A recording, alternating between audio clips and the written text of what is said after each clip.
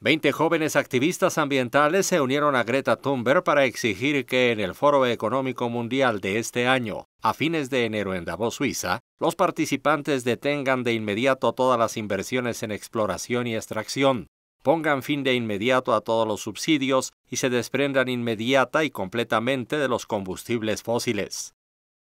En el primero de una serie de artículos que escribirán como colectivo en el periódico británico The Guardian, firmado por Greta Thunberg, afirman que quieren que esto se haga ahora, en este momento, no para 2021, 2030 o 2050.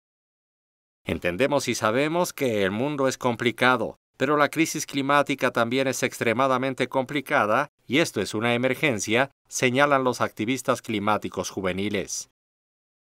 El mundo de las finanzas tiene una responsabilidad con el planeta, las personas y todas las demás especies que viven en él.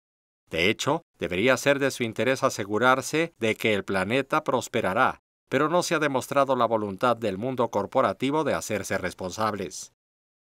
Desde el Acuerdo de París de 2015, 33 grandes bancos globales han invertido colectivamente 1.9 billones de dólares en combustibles fósiles, según el informe de Rainforest Action. El Fondo Monetario Internacional concluyó que solo en 2017 el mundo gastó 5.2 billones en subsidios de combustibles fósiles.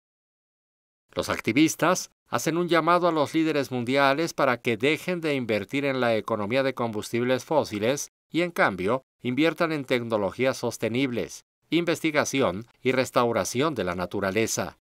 Las ganancias a corto plazo no deberían superar la estabilidad de la vida a largo plazo.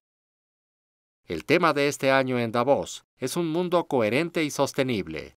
Según el sitio web del foro, los líderes se reunirán para discutir ideas y mejorar el progreso global sobre el cambio climático.